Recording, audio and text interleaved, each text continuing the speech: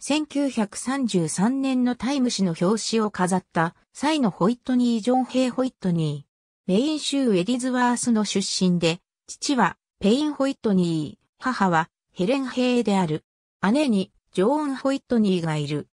父方の祖父ウィリアム・コリンズ・ホイットニーはアメリカ合衆国海軍長官、母方の祖父ジョン・ミルトン・ヘイはアメリカ合衆国国務長官であり、政界に強いつながりのある家系であった。また産業界ともつながりがあり、父ペインの叔父であるオリバー・ハザード・ペインは、この頃にアメリカのタバコ事業者、ジェームズ・ブキャナン・デュークと共に活動しており、ライバル会社を買収して、アメリカンタバコ社を設立している。ジョンは、父や祖父も通ったイエールカレッジに進学し、同大学の秘密結社、サークル、デルタカッパイプシロンに入部、他にも同じく秘密結社サークル、スクロールキーにも入部している。伝説によれば、ジョンはイエール在学中に現代でスポーツ狩りと呼ばれる髪型を考案したとされる。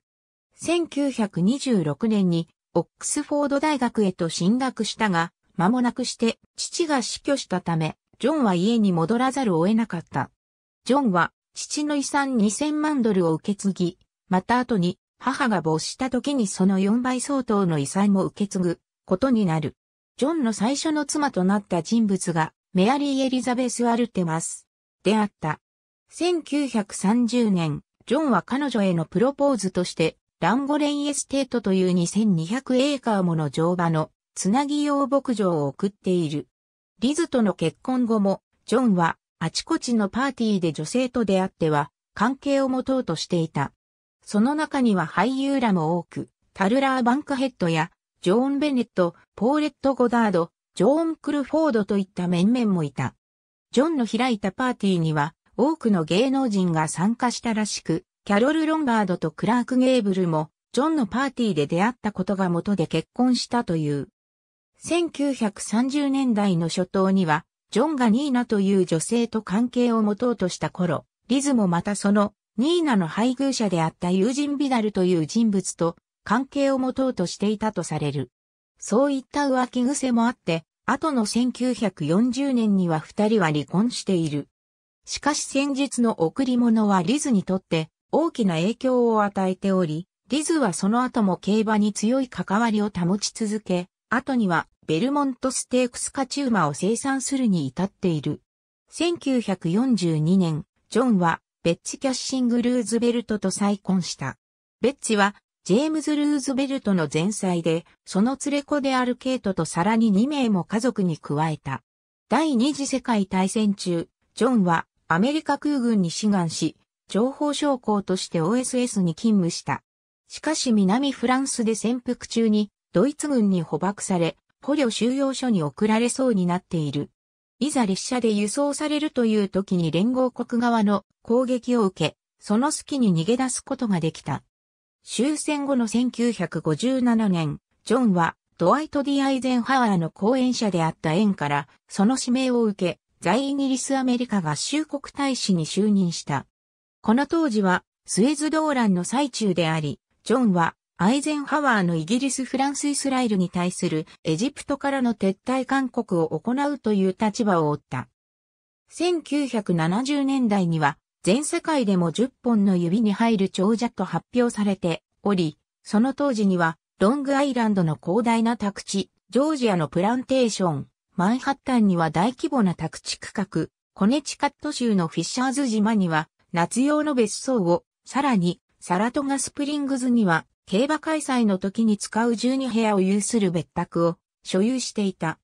他、ジョージア州、オーガスタやイギリスのアスコット競馬場の近辺にも別荘を構え、また、サウスカロライナ州の愛犬には臨終の地として用意した邸宅があった。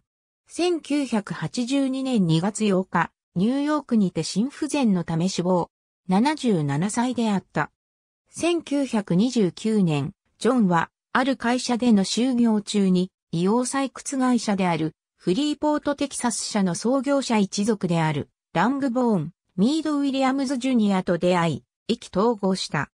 ジョンは、ウィリアムズ・ジュニアと共謀して、フリーポート・テキサス社の買収工作を仕掛け、その創業者一族を追い出して乗っ取りに成功した。その後の1933年にウィリアムズ・ジュニアは社長に就任し、ジョンは取締役として収まった。ジョンはブロードウェイなどのミュージカルにも様々な出資を行っており、1931年にはピーター・アーノのヒアゴーズ・ザ・ブライドに10万ドルの投資を行ったものの失敗していた。一方で1939年のライフ・ウィズ・ファーザーでは一転して大きな収益を上げている。1934年のフォーチュンのテクニカラーに関する記事によれば、ジョンがこの頃から映画産業に関心を持っていたとされる。テクニカラーは1932年に三式法による世界初のカラーフィルム製造に成功したフィルム会社で RKO のマーリン・コールドウェル・クーパーはこの技術の将来性を確信してジョンへ同社への投資を進めていた。そして、ジョンと RKO の出資により、1932年にパイオニアピクチャーズが設立された。ジョン、及び出資を持ちかけられたコーネリアス・バンダービルト・ホイットニーは、同社の株を合わせて15%保有していた。また、デビッド・オーセルズニックの制作会社へ87万ドルもの投資を行っており、同社の取締役会長にも就任した。同プロダクションの制作した風と共に去りぬレベッカにも出資しており、その制作費の半分はジョンの資金であった。J.H. ホイットニーカンパニーはベンチャーキャピタルというスタイルの先駆けとなった企業の一つで、ジョン及び同じく投資家であったベノ・シュミットによって設立された。同社の著名な事業に1958年にニューヨークヘラルドトリビューンを買収したことがある。その後1966年に同誌が消滅するまで、同社はその出版社となっていた。また、同誌以外にも様々な新聞社、放送局などをその傘下に収めていた。ジョンが父ペインから引き継いだ資産には、父の持っていた競走馬や牧場なども含まれていた。これらを姉ジョーンと共に所有し、1928年にジョンはアメリカジョッキークラブのにおける最年少での登録会員となった。ジョンはリズとの結婚以前からアメリカやヨーロッパで競走馬を走らせており、その頃の代表的な競走馬であるイースターヒーローは1929年1930年のチェルトナムゴールドカップに優勝している。同馬が1929年に出走したグランドナショナルはジョンにとっても同競争制覇の最大のチャンスであったが、花差の2着に敗れており、以後もジョンは同競争に毎年馬を送り込んでいたものの、惜しいところにすらも来たことがなかった。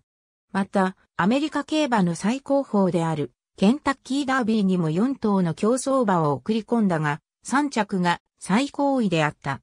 ジョンの関係者には、戦術のリズ・ホイットニーの他にも競馬に関わった著名人がいる。